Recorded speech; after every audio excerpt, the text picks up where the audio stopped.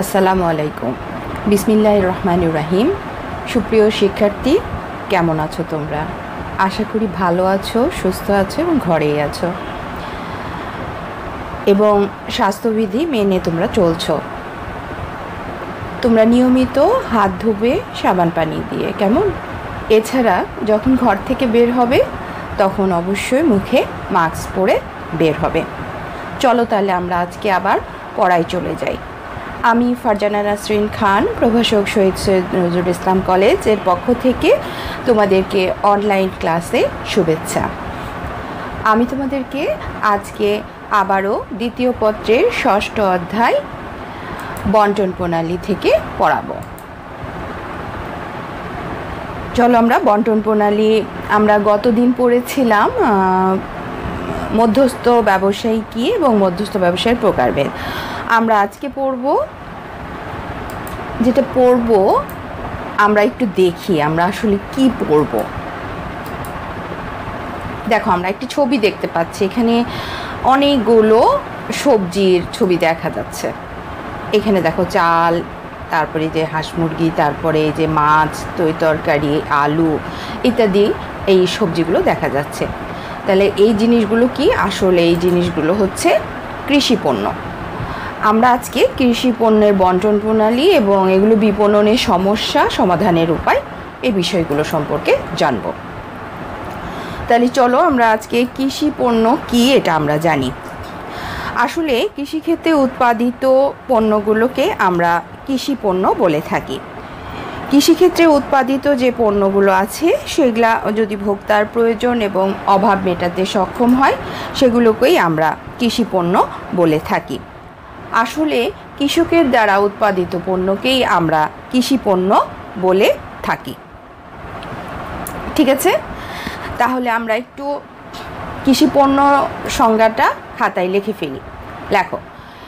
যেসব পণ্য সামগ্রী ভূমি, খামার, নদ, নদী, সমুদ্র, খনি, বনভূমি প্রভৃতি উৎস থেকে উৎপাদিত বা আহরিত হয়ে সরাসরি ভোগ বা শিল্পের কাঁচামাল হিসেবে ব্যবহৃত হয়, তাকে আমরা কৃষিপণ্য বলি।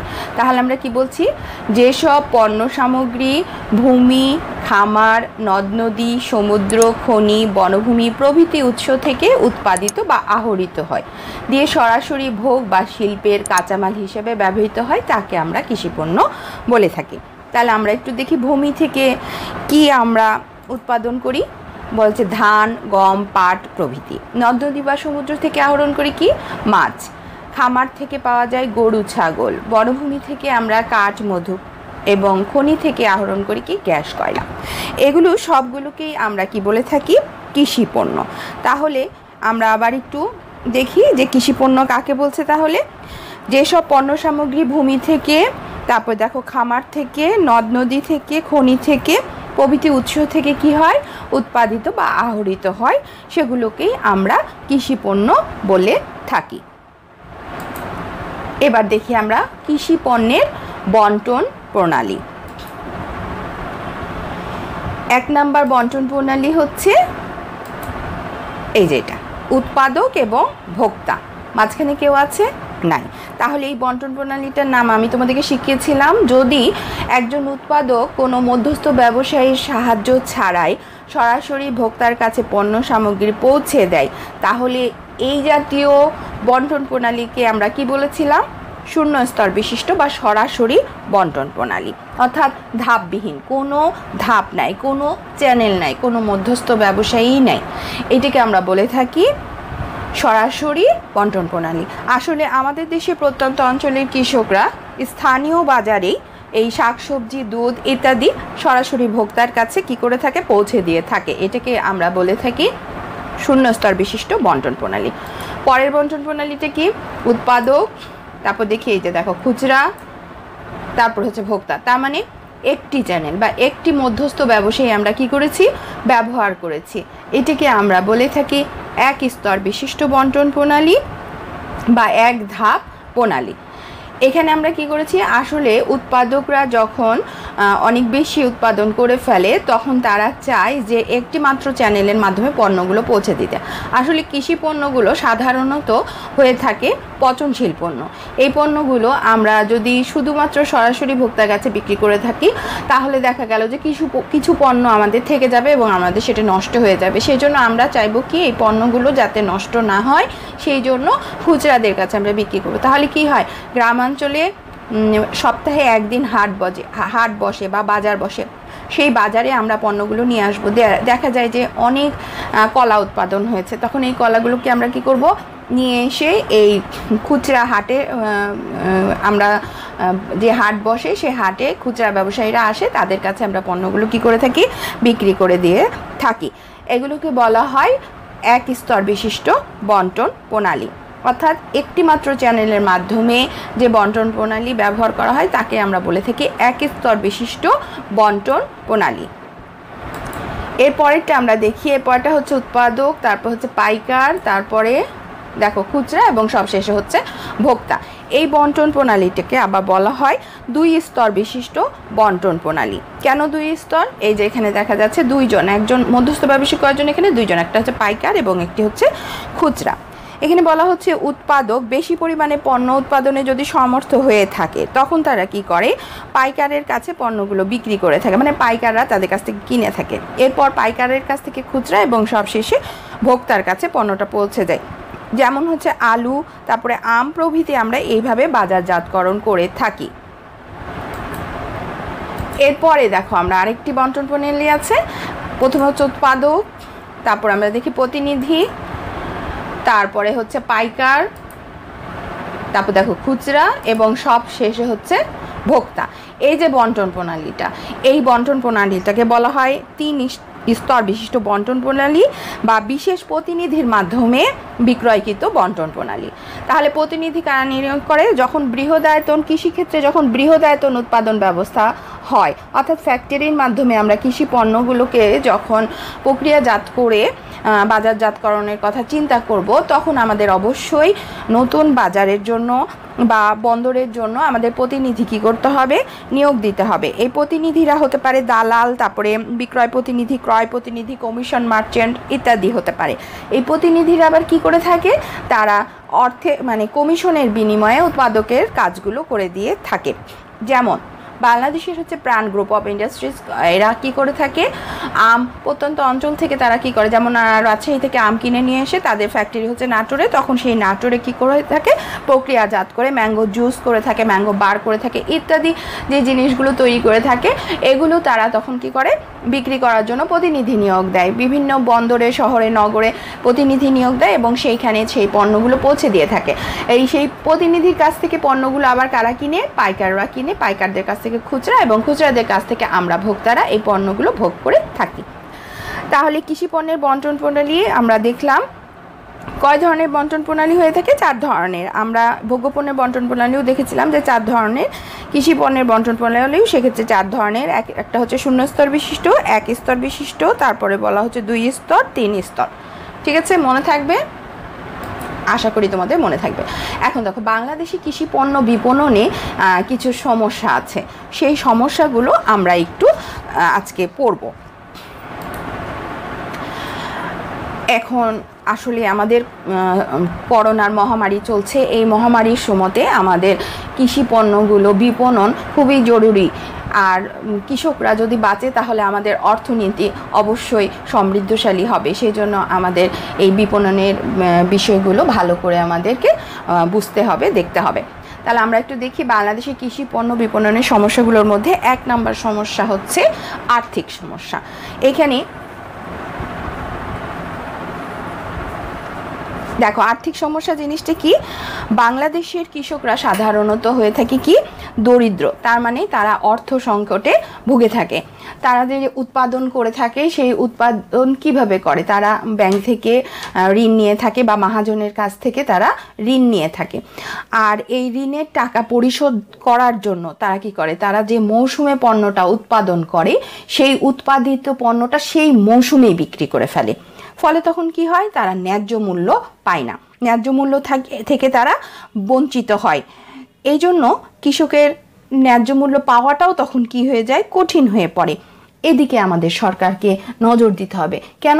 আমরা যে মৌসুমে যে পণ্যটা উৎপাদন করলাম, সেটা যদি আমরা গুদামজাত করে রাখতে পারি, পরবর্তী মৌসুমে যখন আমাদের চাহিদা হবে, তখন আমরা ওটা বিক্রি করলে আমাদের বেশি আমরা লাভবান হতে পারব। এরপরে যেটা বলা হচ্ছে, দেখো, বাংলাদেশে যে কৃষি পণ্যগুলো আছে, সেই পণ্যগুলো আসলে পচনশীল পণ্য। মাছ, মাংস ইত্যাদি যে পণ্যগুলো আমাদের আছে, মাছ আছে, তারপর তুই তরকারি শাক সবজি এই জিনিসগুলো আমাদের দ্রুত কি হয়, পচে যায়।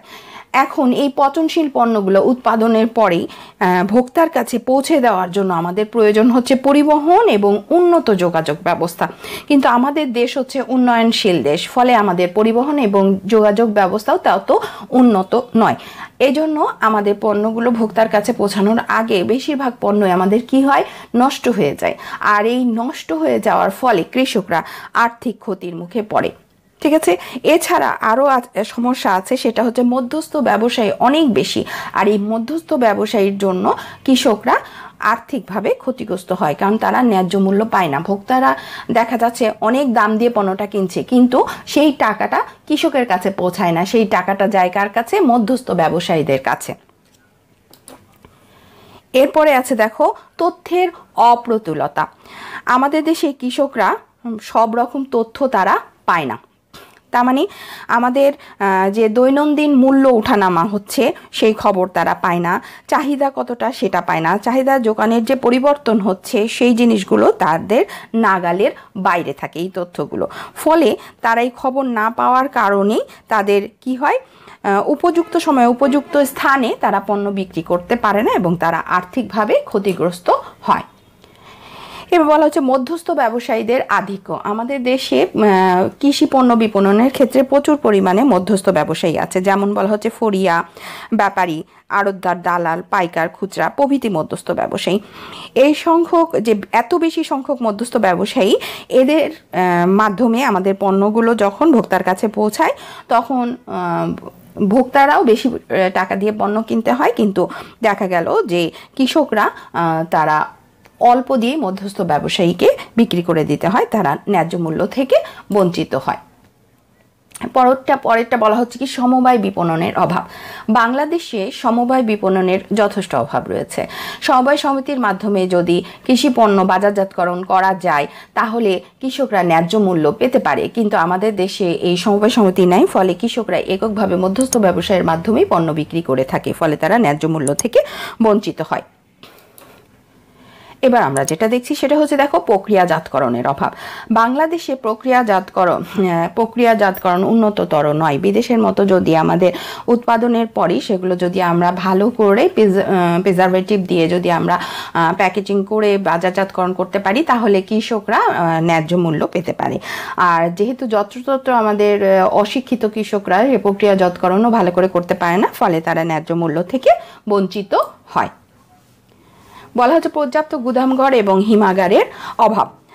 বাংলাদেশে মৌসুমি যখন উৎপাদন মৌসুমে যখন পণ্য উৎপাদন হয়, তখন প্রচুর পরিমাণে উৎপাদন হয়।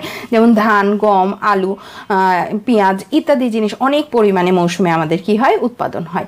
কিন্তু এগুলো গুদাম ঘর, সংশ্লিষ্ট সরকারি গুদাম ঘরের আমাদের কম এবং বেসরকারি গুদাম ঘরগুলোতে রাখতে গেলে কৃষকদের প্রচুর পরিমাণে টাকা দিতে হয়। নিজস্ব কোনো গুদাম ঘর নাই। এই গুদাম ঘরের অভাবের কারণে আমাদের এই পণ্যগুলো যত্রতত্রভাবে আমাদের বিক্রি করে দিতে হয়। সেই জন্য আমরা কৃষকরা কম মূল্য পেয়ে থাকি। এছাড়া আমাদের যে কৃষি পণ্যগুলো বলা হচ্ছে পচনশীল পণ্য, সেই জন্য আমাদের এইগুলোর জন্য হিমাগার লাগবে। আর হিমাগারের পর্যাপ্ত অভাবের কারণেই আমাদের দেশে কৃষকরা ন্যায্য মূল্য থেকে বঞ্চিত হয়। এরপর বলে প্রযুক্তির অভাব। বাংলাদেশে আমি প্রথমে বলেছি কৃষকরা আর্থিকভাবে অসচ্ছল এবং তারা অশিক্ষিত হয়ে থাকে। ফলে প্রযুক্তির ব্যবহার যদি আমরা করতে চাই, অর্থাৎ উন্নত প্রযুক্তির মাধ্যমে যদি আমরা কৃষি পণ্য উৎপাদন করতে চাই এবং সেগুলো যদি বিপণন করতে চাই, তাহলে দেখা গেল এই জিনিসগুলো আমাদের ক্রয় করা আমাদের জন্য অনেক আহ, সমস্যার সৃষ্টি করে। কেন? আমরা এগুলো আর্থিকভাবে যেহেতু আমরা কমজোর সেই জন্য আমরা এই পণ্যগুলো বিদেশ থেকে কিনতে পারি না। আর যদিও সরকার আমাদেরকে যদি দিয়ে থাকে এগুলো তাহলে সেগুলো খুব অপ্রতুল ফলে আমরা এগুলো ব্যবহার করে সঠিক ব্যবহারও আমরা জানি না। ফলে প্রযুক্তির অভাবের কারণে আমাদের কৃষি পণ্যগুলো কি হয় না? ভালোভাবে আমরা বিপণন করতে পারি না। প্রশিক্ষণ এবং শিক্ষার অভাব। উন্নত প্রযুক্তি ব্যবহার করতে গেলেও আমাদের প্রশিক্ষণ লাগবে। সেই প্রশিক্ষণ এবং শিক্ষার অভাবেও কৃষকরা ন্যায্য মূল্য থেকে কি হয়? বঞ্চিত হয়। চাহিদা পূর্বানুমানের অভাব। আধুনিক বিপণনের ক্ষেত্রে ভোক্তার চাহিদা, রুচি, অভ্যাস ইত্যাদি বিবেচনা করতে হয়। ভোক্তা কি পণ্য দরকার, কতটুকু দরকার প্রভৃতি বিষয়ে আমাদের অনেক কৃষককে জানে না বা পূর্বানুমান করতে কি করতে পারে না। ঠিক আছে? এই পণ্য উৎপাদন চিরাচরিতভাবে পণ্য উৎপাদন করে যাচ্ছে। তার মানে আগেকার যে নিয়ম আছে, সেই নিয়ম অনুযায়ী তারা পণ্য উৎপাদন করে যাচ্ছে। যতটুকু পাচ্ছে ততটুকু উৎপাদন করছে। এতে কতটুকু চাহিদা আছে বা চাহিদা বেড়েছে না চাহিদা কমেছে ইত্যাদি বিষয় তারা কোনো রকম ধর্তব্যের মধ্যেই আনে না। ফলে যদি চাহিদা কম থাকে, তাহলে অনেক বেশি উৎপাদন করে তারা সেই পণ্যটা বিক্রি করতে পারে না।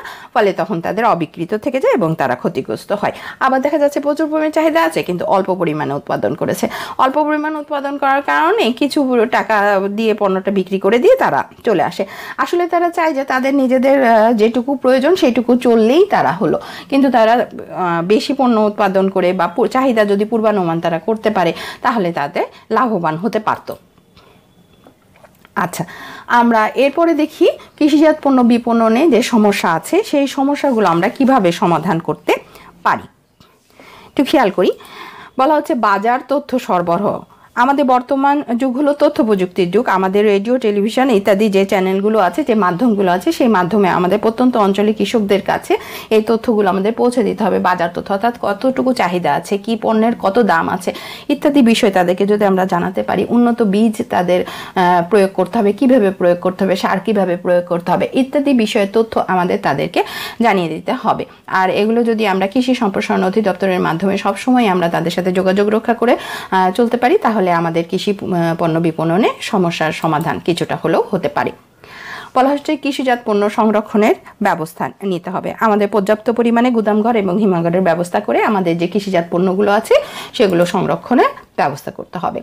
এরপরে বলেছে যোগাযোগ ব্যবস্থার উন্নয়ন। বাংলাদেশে অবশ্যই যোগাযোগ ব্যবস্থার উন্নয়ন হয়েছে। আরও আমাদের উন্নয়ন করতে হবে। আমাদের সেতু, কালভার্ট সব ভালোভাবে নির্মাণ করতে হবে এবং প্রত্যন্ত অঞ্চলের কৃষকদের পণ্যগুলো যাতে সঠিকভাবে ভোক্তার কাছে পৌঁছায় সে ব্যবস্থা করার ব্যবস্থা গ্রহণ করতে হবে। বলা হচ্ছে ভেজাল বিরোধী আন্দোলন জোরদার করতে হবে।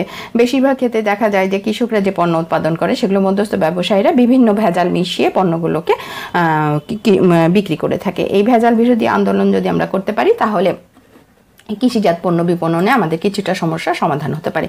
ওজন এবং পরিমাপ অধ্যাদেশের প্রয়োগ করতে হবে। বলা হচ্ছে যে উনিশশো বিরাশি সালের ওজন এবং পরিমাপ অধ্যাদেশ অনুযায়ী আমাদের দেশের সরকার মধ্যস্থ ব্যবসায়ীদের সঠিক বাটখারা এবং দাঁড়িপাল্লা ব্যবহারে বাধ্য করতে পারে। অন্যথায় জেল জরিমানা সহ অন্যান্য শাস্তিমূলক ব্যবস্থা নেওয়ার মাধ্যমে কৃষিজাত পণ্য বিপণনের সমস্যা সমাধানের চেষ্টা করা যেতে পারে। মধ্যস্থ ব্যবসায়ীদের আমাদের সংখ্যা কমাতে হবে। তারপরে বলা হচ্ছে প্রক্রিয়াজাতকরণ ব্যবস্থার উন্নয়ন করতে হবে।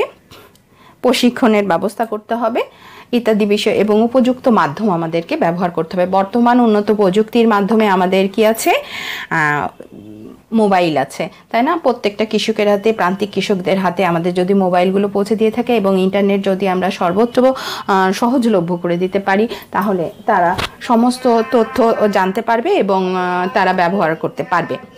এছাড়া দেখো, আমরা আরও কিছু সমস্যার সমাধান আমরা করতে পারি। যেমন বেসরকারি প্রক্রিয়াজাতকরণ কোম্পানিগুলো যারা আছে, তারা বেশি কৃষি পণ্য কিনে প্রক্রিয়াজাত করতে পারে। প্রয়োজনে নামমাত্র মূল্যে মুনাফা রেখে তারা, তাদের বিক্রয় করা যেতে মুনাফা রেখে তারা তা কী করতে পারে? বিক্রি করতে পারে। বলা হচ্ছে প্রাতিষ্ঠানিক প্রাতিষ্ঠানিক যে ভোক্তা আছে, তাই সেই ভোক্তাদেরকে কি করতে হবে? সম্পৃক্ত করতে হবে। উৎপাদিত কৃষি পণ্য ভোগ ধরে রাখতে হবে। যেমন আমাদের বলা হচ্ছে police line, cantonment, isolation centre, জেলখানা ইত্যাদি যেসব আছে সুপার মার্কেটের মাধ্যমে সেই কৃষকদের পণ্যগুলো তাদের কাছে কি করতে হবে? পৌঁছে দিতে হবে। ঠিক আছে? তারপর দেখো, স্থানীয় পর্যায়ে কৃষি সম্প্রসারণ যে অধিদপ্তর আছে, উপসহকারী কৃষি কর্মকর্তাদের হাতে কৃষকদের তালিকা আছে। উৎপাদিত পণ্যের ধরন পরিমাপ জানা আছে। নির্বাচন কমিশনের কাছে ভোটের তালিকা আছে। তারপরে বিশেষ সামাজিক সুরক্ষা তালি- তালিকা আছে। কোথায় কি পরিমাণে উৎপাদনে কি সংখ্যক ভোক্তা আছে, সেই অনুযায়ী কৃষি পণ্য স্থানান্তরে স্থানান্তর চালিয়ে যেতে হবে। তাহলে উৎপাদিত কৃষি পণ্যের সরবরাহ নিরবিচ্ছিন্ন এবং নির্বিঘ্ন রাখতে পণ্যবাহী যানবাহন যাতে হয়রানি শিকার না হয় সেদিক দিকেও আমাদেরকে খেয়াল রাখতে হবে। সমাজের যে ধনী শ্রেণি, এই মুহূর্তে বেশি বেশি শাকসবজি ফলমূল ভোগ করার মাধ্যমে কৃষকদের সহায়তা করতে পারে। ঠিক আছে? তারপরে আমরা দেখতে পারি যে কৃষকরা যাতে উৎপাদিত কৃষি পণ্য ন্যায্য পণ্য বাজারজাত করতে পারে, সেজন্য কৃষি পণ্য উৎপাদনের এলাকায় বিপণন ব্যবস্থা চালু রাখতে হবে। কাজটি ডিজিটাল টেকনোলজির মাধ্যমেও করা যেতে পারে। এইসব ব্যবস্থা যদি আমরা চালিয়ে যেতে পারি, তাহলে আমরা আশা করি যে আমাদের কৃষিপণ্য বিপণনে কিছুটা সমস্যার সমাধান হলেও হতে পারে। তাহলে তোমাদেরকে আমি আবারও বলছি, তোমরা সবাই ঘরে থাকবা, সুস্থ থাকবা, স্বাস্থ্যবিধি মেনে চলবা এবং তোমাদের নিয়মিত তোমরা হাত ধোবে এবং সবার সাথে সামাজিক দূরত্ব মেনটেন করে চলবে। সবাই ভালো থাকো, সুস্থ থাকো। আল্লাহ হাফেজ।